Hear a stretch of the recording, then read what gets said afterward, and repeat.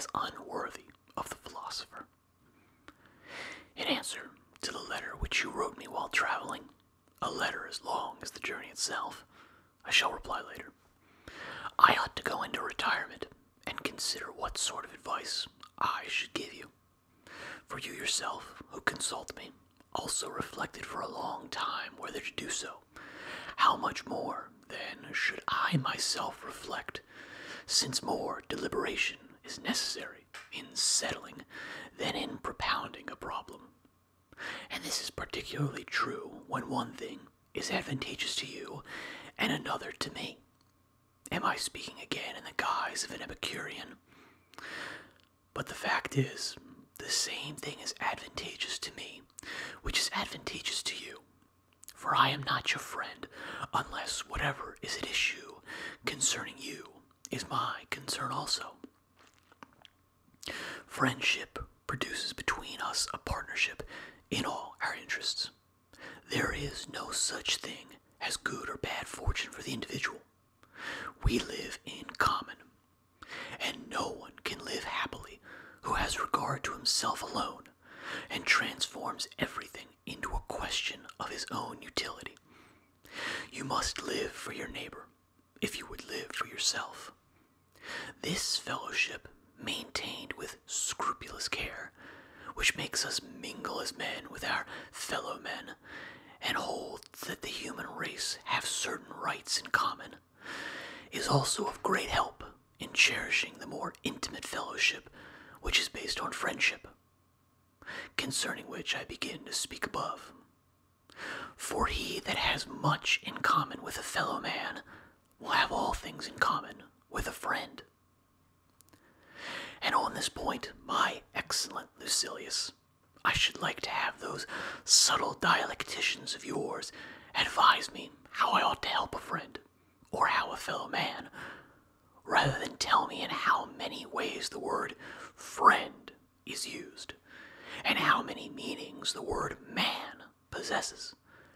Lo, wisdom and folly are taking opposite sides. Which shall I join? Which party would you have me follow?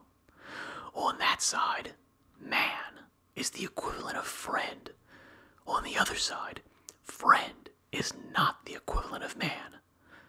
The one wants a friend for his own advantage. The other wants to make himself an advantage to his friend. What you have to offer me is nothing but distortion of words and splitting of syllables. It is clear that unless I can devise some very tricky premises and by false deductions tack on to them a fallacy which springs from the truth, I shall not be able to distinguish between what is desirable and what is to be avoided. I am ashamed.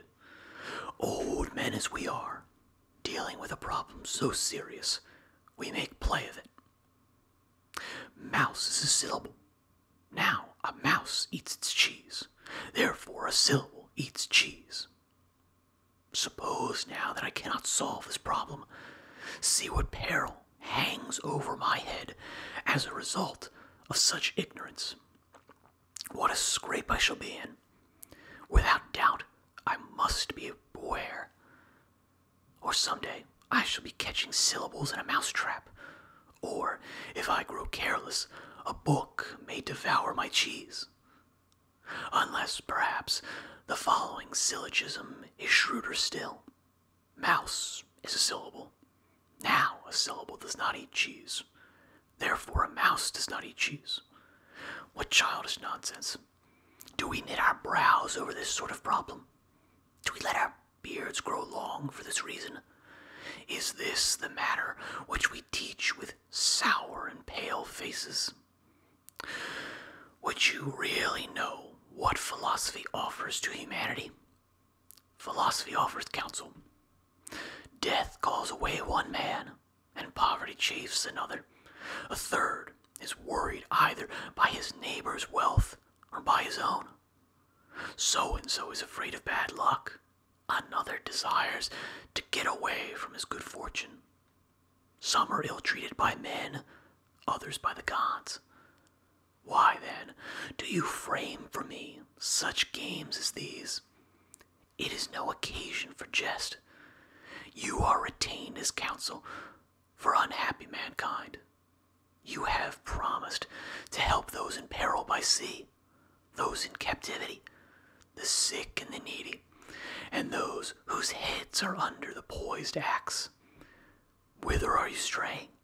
What are you doing? This friend in whose company you are jesting is in fear. Help him and take the noose from about his neck. Men are stretching out imploring hands to you on all sides. Lives ruined and in danger of ruin are begging for some assistance. Men's hopes, men's resources depend upon you. They ask that you deliver them from all their restlessness, that you reveal to them, scattered and wandering as they are, the clear light of truth. Tell them what nature has made necessary and what's superfluous. Tell them how simple are the laws that she has laid down, how pleasant and unimpeded life is for those who follow these laws, but how bitter and perplexed it is for those who have put their trust in opinion rather than in nature.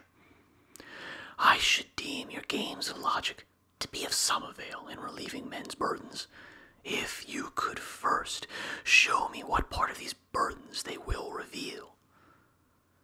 What among these games of yours banishes lust or controls it? Would that I could say that they were merely of no profit. They are positively harmful. I can make it perfectly clear to you, whenever you wish, that a noble spirit, when involved in such subtleties, is impaired and weakened. I am ashamed to say what weapons they supply to men who are destined to go to war with fortune, and how poorly they equip them. Is this the path to the greatest good? Is philosophy to proceed by such claptrap and by quibbles, which would be a disgrace and a reproach even for expounders of the law? For what else is it that you men are doing when you deliberately ensnare the person to whom you are putting questions, then making it appear that the man has lost his case on a technical error? But just as the judge can reinstate those who have lost a suit in this way, so philosophy has reinstated these victims of quibbling to their former condition.